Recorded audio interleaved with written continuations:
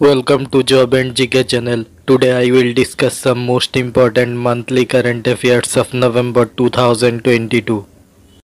Number 1 important question is Sangai festival is a cultural festival celebrated in which state?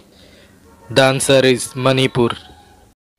Number 2 question Which Indian IT company has become fast to set up a European Works Council? The answer is Wipro. Number 3 important question is Where was the Ganga Utsav 2022 inaugurated? The answer is New Delhi. Number 4 Which country has won the FIFA Under 17 Women's World Cup title? The answer is Spain. Number 5 question Who has the new chairman and MD of Bharat Petroleum Corporation Limited?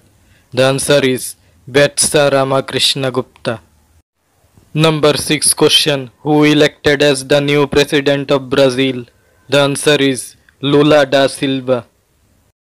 Number 7 Who has become the interim CEO of Twitter recently? The answer is Elon Musk. Number 8 important question is Who has become the new brand ambassador of Byju's? The answer is Lionel Messi. Number 9 important question Which country will host the Kabaddi World Cup 2025? The answer is West Midlands in the UK. Number 10 question Which bank has launched Vyom app?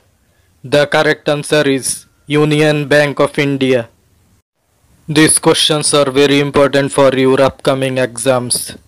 So please subscribe to our channel for more current affairs videos.